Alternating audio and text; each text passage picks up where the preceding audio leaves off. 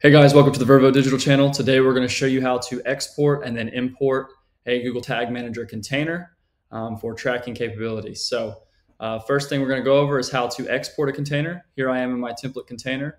First step you're going to do is go here to admin and you're going to hit export container.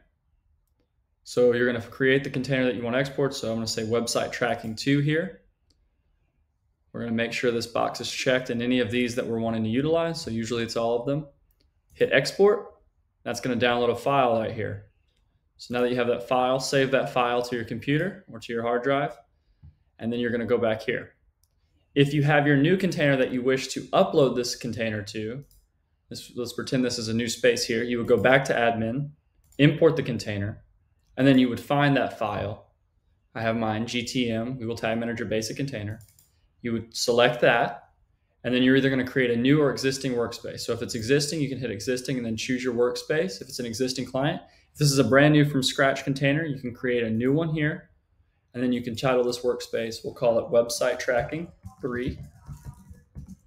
All right, so we've got this here, website tracking three, and you can choose to either overwrite the entire container, so everything that was existing will be overwritten, or you can merge them. So all new tags, triggers, and then settings will be merged with the old settings. Um, this will be completely up to you. I'm going to overwrite these because we're making a brand new workspace. So I'll confirm this. We'll create this uh, website tracking three, but the most important part is hit submit, save your version. So this will be a new version here that I've published. Here's the synopsis of everything that was published.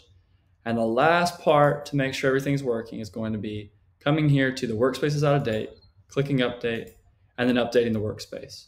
From here, you can preview the workspace um, on the correct website that you have the container attached to. Hope this video helps. If you guys want more videos like this, please like, subscribe, comment. I'll answer any questions that you have promptly.